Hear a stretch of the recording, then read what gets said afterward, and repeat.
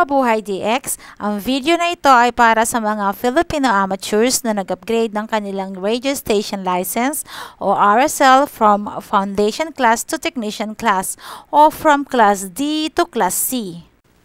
Dagdag kaalaman din para sa mga Class B at Class A amateurs na hindi pa nakakaranas mag-operate ng mga HF radios sa HF bands. Unang-una ang aking pagbati. Congratulations! Dahil kayo ay legal nang makakapag-operate ng mga HF radios sa ilang piling HF bands.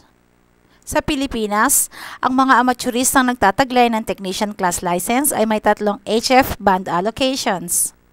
Ito ay ang 40 meter band o 7 MHz, 15 meter band o 21 MHz at ang 10 meter band o ang 28 MHz. As a technician class, ito ang ating legal band limits. Pero pwede naman tayong mag-monitor o mag-URX sa iba pang banda kung nais natin.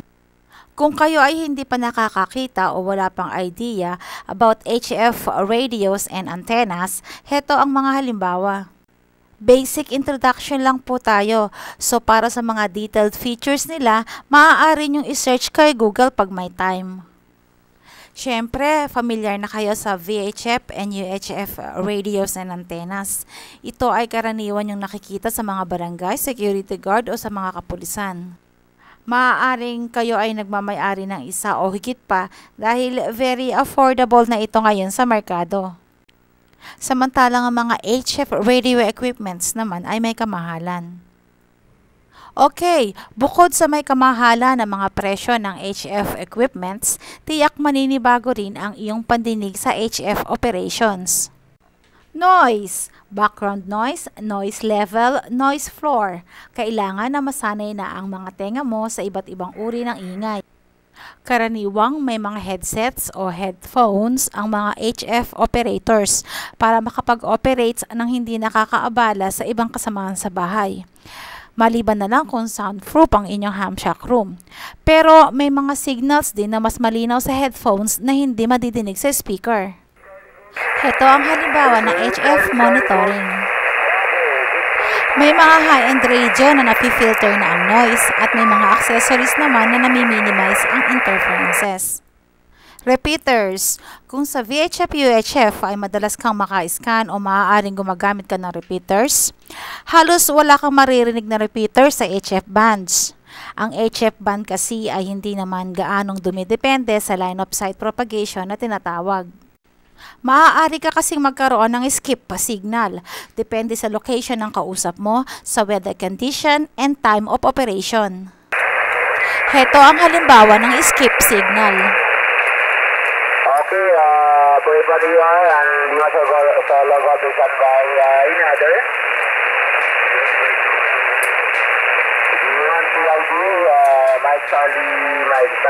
Ang net control ay taga-District 3. Nagre-relay ang taga-District 7 dahil hindi makopya ni District 3 si District 1 and 2 na mas malapit sa kanya kumpara kay District 7.